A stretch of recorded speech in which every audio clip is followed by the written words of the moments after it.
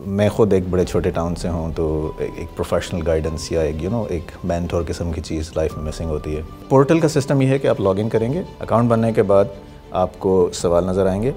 तो ये सवाल इस तरह के बहुत सारे होंगे। कंप्लीट होगा आप उसको रिज़ल्ट को सबमिट करेंगे। हमारा जो एल्गोरिदम है उन रिस्पॉन्स की बेस पे डिटर्मिन करेगा, उसके लिए कौन से करियर्स ज़्यादा रेलिवेंट है। फ़र्स्ट किया, उसने कहा कि जी मैंने जज बनना है, और अब वो बच्चे को पता जज बनने के लिए क्या करना चाहिए। तो हमने उसका हल भी वहीं पर डाल दी वो जज पे क्लिक करेगा, और आगे उसको उन डिग्रीज़ की लिस्ट मिल जाएगी जो जज बनने के लिए वो डिग्रीज चाहिए। अब मसला है कि वो डिग्री कहाँ पे होगी? हमने वो भी उस मसले का भी हल कर दिया। उस डिग्री पे वो क्लिक करेगा, और डिग्री करने के बाद वो डिग्री जो इदारे करवा रहे हैं पाकिस्तान के अंदर, उनकी लिस्ट भी मिल जाएगी आपको। अब इशू ये है कि वो कॉन्टैक्ट कैसे करे, उसको कैसे पता लगेगा किस वेबसाइट पर जाके वो कर रहे हैं? हमने वो मसला भी हल कर दिया। वहाँ पे जो प्रोग्राम्स की लिस्ट आएगी, उस प्रोग्राम पे वो क्लिक करे। जब वो क्लिक करेगा तो वो चला जाएगा उस इदारे के, उस प्रोग्राम के पेज के ऊपर। वहीं पे हमने एक और ऑप्शन भी रख दी कि वो अगर अगर वो चाहता है कि हम उसके बिहार पे यूनिवर्सिटी से कांटेक्ट करें तो वहाँ पे अप्लाई फॉर एडमिशन है।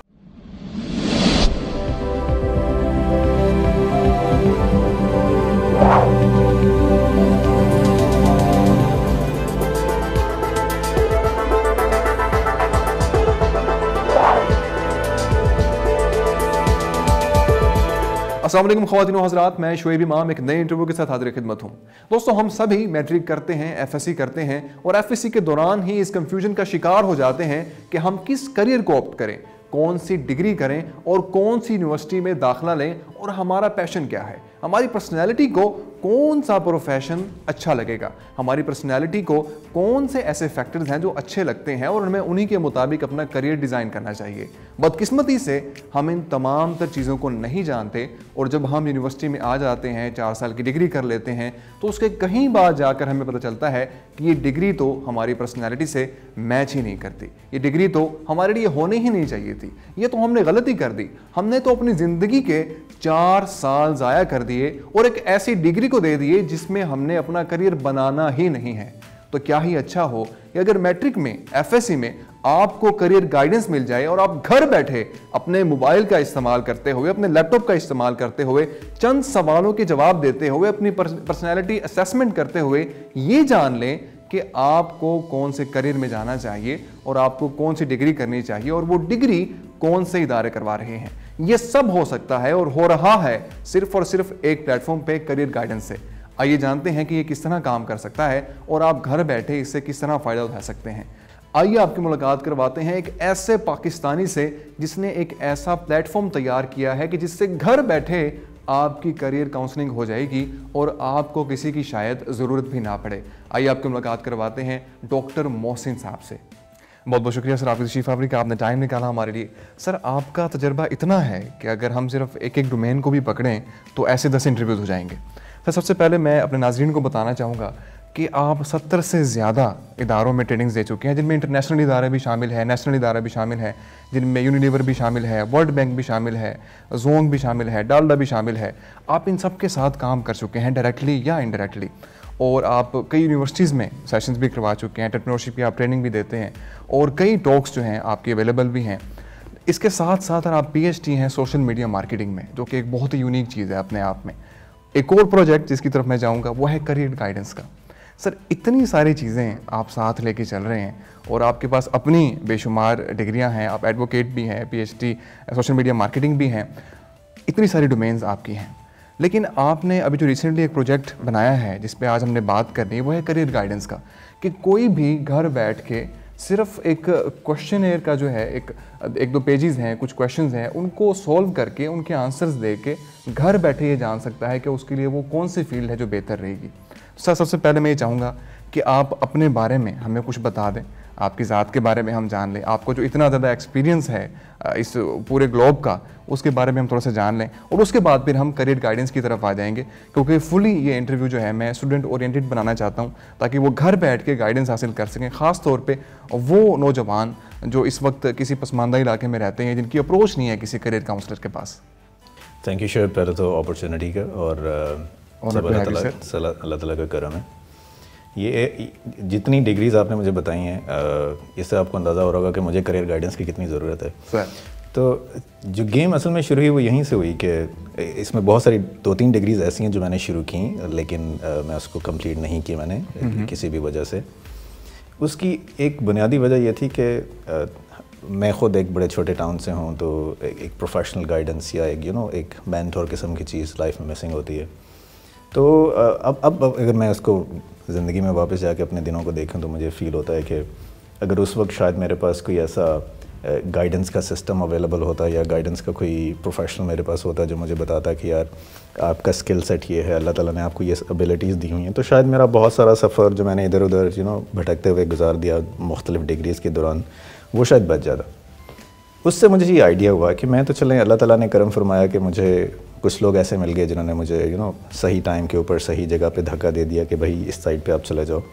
तो इस तरह के लाखों स्टूडेंट होंगे जिनको बेचारों को कोई गाइडेंस अवेलेबल नहीं होती होगी। तो मैं बड़े अरसे से इस चीज़ को सोच रहा था कि किस तरह का ऑटोमेटेड सिस्टम होना चाहिए बिकॉज़ हर साल पाकिस्तान में साढ़े चार लोग साढ़े चार लाख जो, जो ग्रेजुएट्स हैं जो यूनिवर्सिटी से निकलते हैं। अब मैंने खुद यूनिवर्सिटी के अंदर पढ़ाया हुआ है।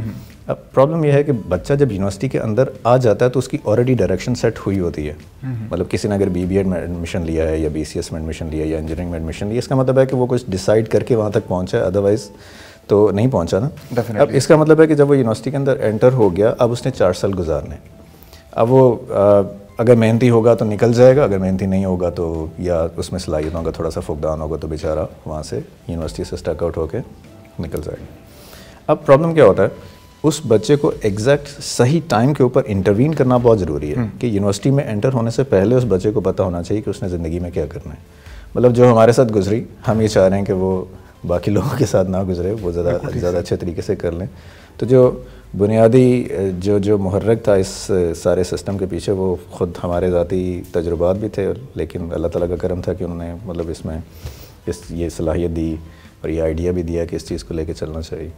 तो ये इस इस तरीके से वो शुरू हुआ। एक इंटरेस्टिंग आपको मैं एक केस बनाता हूँ मतलब कि मैं ज़िंदगी भर उस बंदे का वो रहूँगा शुक्रगुजार रहूँगा। बी एस सी मेरी कंप्यूटर साइंस में थी मैंने मुल्तान से की उसके बाद आ, कुछ अर्से के बाद वाले साहब की डेथ हो गई।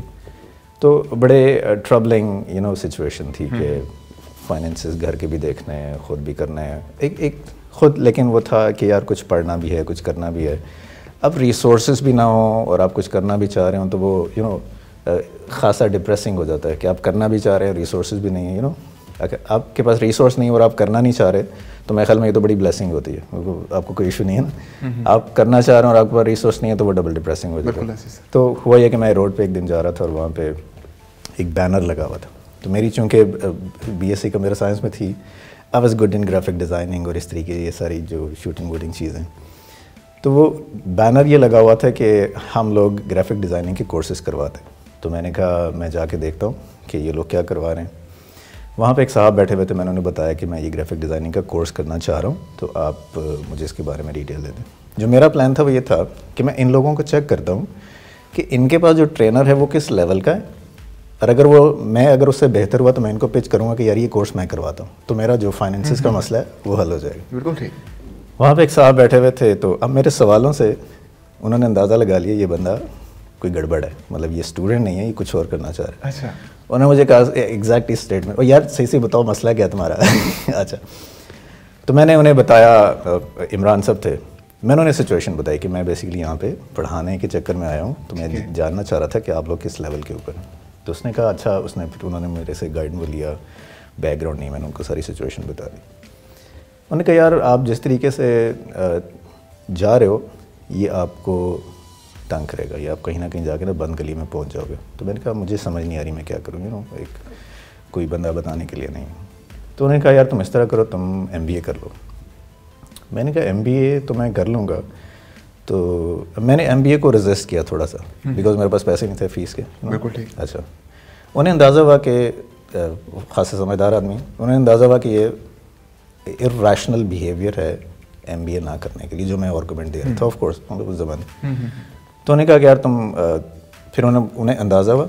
तो मैंने उन्हें ऑनेस्टली बता दिया डरते डरते मैं कि मेरे पास तो पैसे नहीं हो तो गरीब आदमी तो मैंने कहा तुम इस तरह करो फ़लाँ साहब के पास चले जाओ फ़लाँ इदारे के अंदर। तुम उनसे मिल लो। मैंने कहा सर मैं एडमिशन नहीं लूँगा। मैंने कहा यार तुम मिल तो लो उनके साथ। मैंने कहा ठीक है मिलने में तो कोई हर्ज नहीं है। उन्होंने एक इदारा बताया मैं उस इदारे में गया उन साहब से मिला। उनका भी मैं शुक्रगुजार रहूँगा। तो उनको मैंने यही बात बता दी कि मुझे इमरान साहब ने भेजा मैं ये एमबीए करना चाह रहा हूँ, मेरे पास पैसे नहीं उनका तुम यार इस तरह करो, तुम शुरू कर दो लेट्स सी देखते हैं क्या होता है। That was the turning point मतलब जिसमें बंदे को थोड़ी सी रोशनी नज़र आना शुरू होती। तो उससे पहले मैं बहुत सारी डिग्रीज़ में आपको बताया कि शुरू की, ख़त्म कर दी कंफर्टेबल नहीं था लॉ कर दिया, बैठे बैठे आए। दोस्तों ने कहा कि चलो ठीक है यार लॉ कर लेते हैं। अगरचे उसका कोई ख़ास प्रोफेशनल एडवांटेज पर से नहीं है बट ऑफ़ कोर्स लर्निंग तो होती है आपकी उससे। तो बहरल वहाँ से एमबीए करने के बाद वो एक बंदा मतलब मैं ज़िंदगी भर उस बंदे का शुक्र गुज़ार रहूँगा और इंपॉर्टेंट चीज़ क्या है? देन आई रियलाइज़ कि मैं अल्लाह ताला ने मेरे पे करम किया कि मुझे उस जैसा बंदा अवेलेबल था। बिल्कुल ठीक। इस मेरे जैसे लाखों और स्टूडेंट्स होंगे जो जिनको उस तरह के लोगों की यू नो वो नहीं है फैसिलिटी नहीं है। तो मैंने सोचा अगर साढ़े चार लाख ग्रेजुएट्स हैं तो कितने मिलियंस ऐसे होंगे जो यूनिवर्सिटी में ही नहीं आ पाते या आते हैं और गलत आ जाते हैं? और मैं पर्सनली ऐसे स्टूडेंट्स को जानता हूँ यूनिवर्सिटीज़ के अंदर क्लास में बैठे हुए और as a professor you can see on their faces कि यार वो गलत क्लास के अंदर बैठे हुए उन्हें यहाँ पे होना ही नहीं चाहिए था। ये कंप्यूटर साइंस का आदमी नहीं है ये ये इंजीनियरिंग का आदमी नहीं है ये बीबीए हम्म। का आदमी नहीं है उसको यहाँ पे होना चाहिए यू नो और उसको बस एक फ़िक्रा बताने की ज़रूरत है यार ये तुम्हारी फ़ील्ड ये वाली नहीं है तुम यहाँ पे चले जाओ। तो मैंने सोचा कि इतने मिलियंस लोगों तक अगर जाने का अगर हम मैनुअली कोई सिस्टम बनाएँगे वो तो बहुत रिसोर्स लगेगा। तो हमने सोचा क्यों ना आई को यूज़ करें क्योंकि उसमें हमारी थोड़ा बहुत जानते भी हैं उसको। फिर हमने साइकोलॉजिस्ट के साथ हमने कांटेक्ट किया हमने उनसे डिस्कशन की। साइकोलॉजिस्ट ने एक बड़ा प्रॉब्लम ये बताया कि पाकिस्तान में पाकिस्तान का जो सोशल बिहेवियर है वो वेस्टर्न सोशल बिहेवियर से बहुत डिफरेंट है because you know theories psychology की वहाँ से बनी हुई हैं सोशोलॉजी की वहाँ पे बनी हुई हैं। अब वो थ्योरीज उनको एग्जैक्टली exactly पाकिस्तान के सेटअप में इम्प्लीमेंट करना खासा रिस्क है। हमारे कल्चर में बिल्कुल। हमारा कल्चर बहुत डिफरेंट है उनके कल्चर से।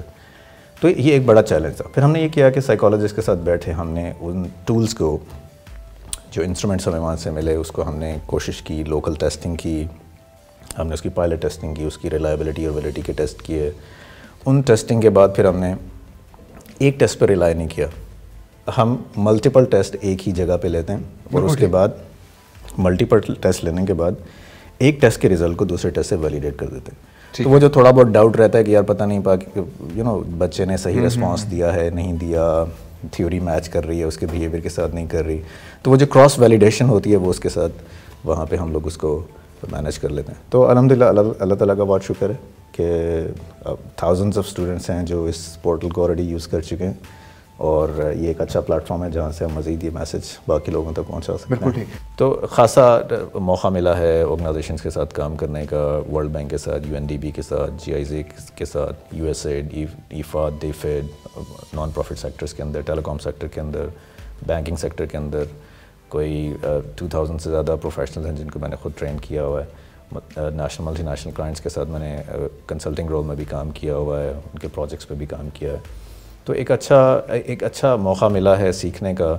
उसका फिर ये कि बहुत सारे कंट्रीज़ में भी ट्रैवल करने का मौका मिला तो एक नए कल्चर को आप देखते हैं उनको फिर आप डायरेक्ट आपका एक्सपोजर होता है उनसे आप मिलते हैं उनका बिहेवियर क्या है।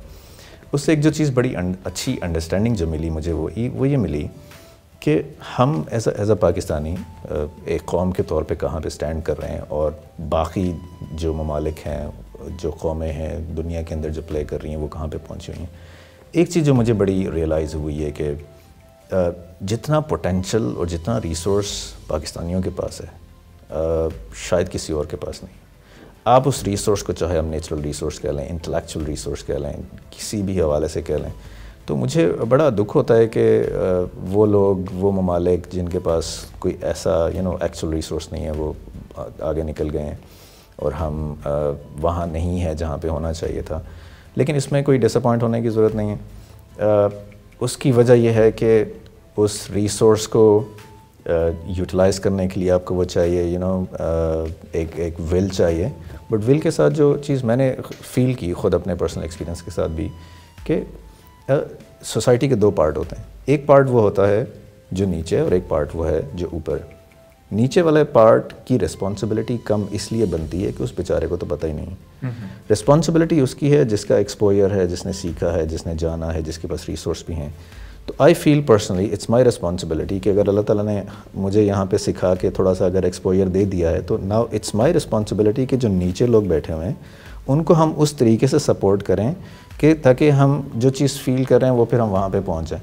तो वो जो करियर गाइडेंस वाला जो बेसिकली जो चीज़ थी, वो फिर वहाँ से भी अब आप समझ सकते हैं कि वो कहाँ से हम इसको लेके आ रहे हैं बिकॉज़ वो जो सोशल इंटरेक्शन जो वो जो सोशल डेवलपमेंट है, हम उसको इसके थ्रू करना चाह रहे हैं। सर, आगे जाने से पहले मैं नाजरीन को ये भी बताना चाहूँगा, और ये भी आपसे चाहूँगा कि आप इसको एलेबोरेट करें कि यही सर्विसेज़ जो आपकी रिसर्च की हैं, जो आपकी मार्केटिंग की हैं, और इसके अंदर डेप्थ में जाके कंक्लूजन निकालना, और उसको स्टडी करना कल्चर को बिहेवियर को और लोगों के रवैयों को ये काम आप बड़े बड़े इदारों के लिए भी कर रहे हैं और ये काम आपने अपने एंड से किया है।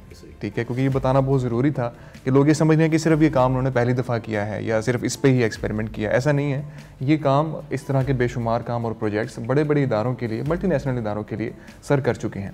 सर उसके रिजल्ट्स आप कैसे आ रहे हैं? और उसका अगर मैं चाह रहा था स्टेप बाय स्टेप आप तरीक़ाकार बता दें तो उसके हम कुछ स्क्रीन भी स्क्रीन पर दिखा देंगे ताकि जो हमारे नाजरीन है वो देखते जाए कि उन्हें किन स्टेप से गुजरना होगा। चलें थोड़ा सा आपको रिसर्च का बैकग्राउंड बता देता हूँ। मेरी पीएचडी सोशल मीडिया मार्केटिंग में है और बैकग्राउंड मेरा बेसिकली मैनेजमेंट से है। तो मैं ह्यूमन बिहेवियर को और एम्प्लॉई बिहेवियर को जो मैनेजमेंट के परस्पेक्टिव होता है उसको हम लोग अंडरस्टैंड बिल्कुल ठीक। और हमने नेशनल इंटरनेशनल क्लाइंट्स को रिसर्च की सर्विसेज़ भी दी हुई हैं अभी भी दे रहे हैं।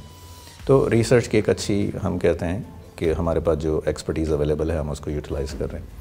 तो मेरे ख़ुद पंद्रह से ज़्यादा रिसर्च पेपर्स हैं जो national international peer review journals के अंदर पब्लिश हो चुके हैं। तो वो भी एक थोड़ा सा यू नो अंडरस्टैंडिंग है। उसकी रिसर्च ग्रांट्स भी मैंने विन की हुई हैं एच से और साइड से तो उस पर भी काम किया हुआ है। तो हम न्यूरॉन सोल्यूशन से बेसिकली मार्केट रिसर्च की सर्विसेज़ भी दे रहे हैं डिजिटल मार्केटिंग की सर्विसेज़ भी दे रहे हैं और सोल्यूशन डेवलपमेंट की सर्विसेज़ भी दे रहे हैं। अब ये जो ये ये जो पोर्टल है करियर गाइडेंस का ये ट्रिकी इसलिए था कि इसमें सिर्फ़ आईटी नहीं है बिकॉज़ हम्म। आपने पोर्टल भी बनाना है उसकी यू you नो know, उसकी डेवलपमेंट करनी है। उससे ज़्यादा इंपॉर्टेंट वो जो रिसर्च और साइकोलॉजी वाला एलिमेंट था वो था। अब इस पोर्टल के अंदर ये होता है कि आप it's available on the Android store आप उस पर करियर गाइडेंस पी के लिखें तो आपको वो ऐप डाउनलोड कर लेंगे। उसमें लॉगिन देना ज़रूरी इसलिए है ताकि हम अपना रिकॉर्ड वेरीफाई कर सकें और बच्चे को वो रिजल्ट्स वगैरह भी हम बाद में मज़ीद अगर वो चाहिए तो हम उसको भिजवा सकते हैं। पोर्टल का सिस्टम ये है कि आप लॉगिन करेंगे। इट्स प्रटी ईजी बहुत आसान है। आप सिर्फ़ यूज़र नेम ई देंगे और आपका अकाउंट बन जाएगा। अकाउंट बनने के बाद आपको सवाल नज़र आएँगे। उस सवाल में राइट साइड की कुछ स्टेटमेंट्स हैं और लेफ़्ट साइड की स्टेटमेंट्स हैं। राइट स्टेटमेंट जो होगी अगर आप उसके साथ मैच कर रहे हैं तो आप उस पर उसके नीचे जो स्लाइडर बना हुआ है उस पर टिक कर दें। और अगर आप लेफ़्ट साइड वाले के साथ मैच कर रहे हैं तो उस स्लाइडर के मुताबिक उसको कर दें। तो ये सवाल इस तरह के बहुत सारे होंगे लेकिन ज़्यादा दस बारह मिनट के अंदर आपका वो टेस्ट मुकम्मल हो जाएगा। तो आप नेक्स्ट करते रहें उसके बाद जब कंप्लीट हो जाएगा। कंप्लीट होगा आप उसको रिज़ल्ट को सबमिट करेंगे। वो जो सारे रेस्पॉन्सेज आएँगे वो हमारे एल्गोरिदम के पास आ जाएँगे सॉफ्टवेयर के पास। हमारा जो एल्गोरिदम है उन रिस्पॉन्स की बेस पे डिटर्मिन करेगा कि इस बच्चे की पर्सनालिटी जो उसके सवाल से हमने एल्गोरिदम ने डिटर्मिन की उसके लिए कौन से करियर्स ज़्यादा रेलिवेंट हैं। तो वो करियर जो होंगे उनकी एक लिस्ट हम बच्चे को दे देंगे स्क्रीन के ऊपर कि आपके लिए जो मुनासिब जो करियर्स हैं वो ये वाले हैं। अब उसमें मसला ये है कि करियर तो फ़र्स्ट किया उसने कहा कि जी मैंने जज बनना है। और अब वो बच्चे को अपना जज बनने के लिए क्या करना चाहिए? तो हमने उसका हल भी वहीं पे डाल दिया। ठीक है। वो जज पे क्लिक करेगा और आगे उसको उन डिग्रीज़ की लिस्ट मिल जाएगी जो जज बनने के लिए वो डिग्रीज चाहिए। तो उस बच्चे को पता लग जाएगा कि वो डिग्री जनाब ये वाली डिग्री करेगा तो वो जज बनेगा। अब मसला है कि वो डिग्री कहाँ पे होगी? ये भी एक इशू है बच्चे के लिए यू नो हमने वो भी उस मसले का भी हल कर दिया। वो डिग्री पे क्लिक करेगा। फॉर एग्जांपल वो कहता है कि जी मैंने लॉ करना है। तो उस डिग्री पे वो क्लिक करेगा और डिग्री करने के बाद उस वो डिग्री जो इदारे करवा रहे हैं पाकिस्तान के अंदर उनकी लिस्ट भी मिल जाएगी आपको। तो वो उसको पता लग जाएगा फ़लाँ जगह पे ये डिग्री हो रही है मैं ये डिग्री करूँगा और उसके बाद आ, मेरी वर्क कंप्लीट हो जाएगी. अब इशू ये है कि वो कॉन्टैक्ट कैसे करे उसको कैसे पता लगेगा किस वेबसाइट पे जाके वो कर रहे हैं? हमने वो मसला भी हल कर दिया। वहाँ पे जो प्रोग्राम्स की लिस्ट आएगी उस प्रोग्राम पे वो क्लिक करे। जब वो क्लिक करेगा तो वो चला जाएगा उस इदारे के उस प्रोग्राम के पेज के ऊपर। वहीं पे हमने एक और ऑप्शन भी रख दी कि वो अगर अगर वो चाहता है कि हम उसके बिहार पे यूनिवर्सिटी से कांटेक्ट करें तो वहाँ पे अप्लाई फॉर एडमिशन है। वो अप्लाई फॉर एडमिशन कर दे। हम उसकी रिक्वेस्ट जो है यूनिवर्सिटी को डायरेक्ट ईमेल कर देंगे और यूनिवर्सिटी अगर चाहे तो वो उनके साथ कांटेक्ट भी कर सकती है। बिल्कुल तो ये हमने उस बच्चे को ए से शुरू किया और उसको एंड तक बिल्कुल मतलब कंप्लीट 360 करियर सोल्यूशन हमने उसको ऑटोमेटेड दे दिया ज़बरदस्त। अच्छा सर मैं ये जानना चाहूँगा कि ये किस एज के लोगों के लिए और किस ग्रेड पे हो मैट्रिक में हो जो आइडियल है? क्योंकि ये साइकोलॉजी टेस्टिंग है तो पर्सनल अंडरस्टैंडिंग अपने बारे में आठवीं से पहले नहीं होती। ठीक है। बच्चा इतना मैच्योर नहीं होता। तो जो रिकमेंडेड है आई थिंक वो है टेंथ क्लास से लेके बिकॉज़ टेंथ के बाद उसने स्विच करना होता है एफ़ ए में एफ़ में कोर्सेज डिटर्मिन उसने करने होते हैं। तो जो बच्चा रिकमेंडेड ये है कि जो बच्चा दसवीं क्लास में है टेंथ ग्रेड से लेके यूनिवर्सिटी जाने से पहले तक ये आइडियल एज है। ठीक है। इस टेस्ट को लेने के लिए। बिल्कुल ठीक। अदरवाइज़ एज की कोई लिमिट नहीं। मतलब अगर कोई अस्सी साल का बुज़ुर्ग ये जानना चाह रहा है कि उसको फ्यूचर में क्या करना चाहिए तो वो भी अटेम्प्ट कर सकता है। लेकिन आइडियल एज है आइडियल एज टेंथ ग्रेड से लेके यूनिवर्सिटी में जाने से पहले ताकि वो देख ले कि उसने कौन सा करियर करना बिल्कुल ठीक। सर अभी तक सक्सेस रेशो क्या है? फीडबैक कितना अभी फीडबैक बहुत ही कमाल की है। इसलिए कि एक तो बच्चों को गाइडेंस नहीं आ गई यू नो तो वो बड़ा खुश होते हैं उन्हें पता लगता है कि इस तरह। और बात हमें फ़ीडबैक बड़ी अच्छी इस तरीके से भी मिलती है। आप पाकिस्तान के सोशल बिहेवियर को समझते हैं कि बच्चा कुछ करना चाह रहा है लेकिन उसके पेरेंट्स या उसके फैमिली वाले उसको मजबूर कर रहे हैं कि भाई तुमने ये नहीं करना ये करना है। अब वो बच्चा हमें फीडबैक अब एक बच्चे ने बड़ी अच्छी फीडबैक दी कहते हैं कि यार आपकी पोर्टल की वजह से ना मेरी जान छूट गई। मैंने कैसे जान छूट गई? कहते हो, मैं तो बच्चा हूँ, मुझे तो कोई, मेरी तो कोई सुनता ही नहीं फैमिली के अंदर। और मुझे पता है कि वो जिस फ़ील्ड के अंदर मुझे भिजवाना चाह रहे हैं, मेरा उसमें कोई शौक नहीं है तो मुझे लगता है कि मैं वहाँ पर कामयाब भी नहीं होऊँगा। तो ये पोर्टल का रिज़ल्ट मैंने अपनी फैमिली के साथ शेयर किया और मैंने बताया, ये देखें, ये पोर्टल भी सजेस्ट कर रहा है कि मेरे लिए आइडियल ये वाला है। तो फैमिली वाले कन्विंस हो गए हाँ भाई अच्छा ठीक है, ये बच्चे का मिजाज भी है और साथ वो रिज़ल्ट भी मिल गया। तो ये बड़ी अच्छी चीज़ है बच्चों के लिए, अगर बच्चे समझते हैं कि उनको किसी गलत रास्ते पे डाला जा रहा है या जिसमें उनका शौक़ नहीं है तो वो इस रिज़ल्ट को शेयर कर लें उनके साथ मतलब अपनी फैमिली के साथ एज एज एन आर्गूमेंट तो वो इसको सपोर्ट करेगा। बिल्कुल ठीक। और इस वेबसाइट के आने से आपका टाइम भी काफ़ी बच जाता होगा। Exactly. क्योंकि बेशुमार लोग जो हैं आपको करियर काउंसलिंग के लिए कॉल करते हैं। और मैं भी ये बताना चाहता हूँ कि आज से साढ़े तीन साल पहले मैं भी सर से काउंसलिंग ले रहा था। चार साल हो चुके हैं इस बात को। और उसमें से एक गोल ये भी था कि मैंने यहाँ पे सर के साथ काम करना है और आपने थपकी दी। और समझाया बताया चीज़ों का तो उसके लिए भी मैं आपका शुक्रगुजार हूँ। ऑन रिकॉर्ड में आपका शुक्रिया अदा करूँगा कि मुझे इतने अच्छे करियर काउंसलर मिले और जिनकी बदौलत मुझे बेशुमार चीज़ें जो हैं वो हासिल हुई इस करियर में अपने। सर कोई ऐसी इंस्ट्रक्शन आप देना चाहें? क्योंकि जब हम क्वेश्चन सॉल्व कर रहे होते हैं तो हम उसे किसी और परस्पेक्टिव से सोल्व कर रहे होते हैं। मैंने देखे जितने पर्सनालिटी असेसमेंट के टेस्ट पड़े हुए हैं एमबीटीआई के पड़े हुए हैं बाकी ईक्यू के पड़े हुए हैं आईक्यू के पढ़े हुए हैं इंटरनेट पे। तो लोग वो आंसर नहीं कर रहे होते जो कि आंसर उनका होना चाहिए एक्चुअली ठीक है? उसमें जो और फिर जब नतज डिफरेंट आते हैं तो वो परेशान हो जाते हैं ये तो मैं हूँ ही नहीं। ये ये शोब आपने बड़ा अच्छा पॉइंट आइडेंटिफाई किया। आम जो सिंगल मोस्ट इंपॉर्टेंट सजेशन जो मैं मतलब देना चाहूँगा नौजवानों को ये कि एक होता है आइडियल आंसर एक होता है आपका आंसर आइडियल आंसर वो है जो आप चाहते हैं कि आप उस तरह के हों। फॉर एग्ज़ाम्पल आप कहते हैं कि जी मैं बहुत बहादुर होना चाह रहा हूँ। आइडियल चीज़ ये होगी कि आप बहुत बहादुर हैं। लेकिन हम ये नहीं चाह रहे कि आप ये बताएँ कि आपके नज़दीक आइडियल क्या है? हम ये जानना चाह रहे हैं कि आप क्या हैं? आपका आंसर क्या है? और वो ज़रूरी नहीं कि आइडियल ही हो। हर बंदा यू नो अल्टीमेट बहादुर तो नहीं हो सकता ना? हर बंदा अल्टीमेट जहीन नहीं हो सकता। हर बंदा अल्टीमेट जो है वो एक्स्ट्रोवर्ड नहीं हो सकता आउटगोइंग नहीं हो सकता।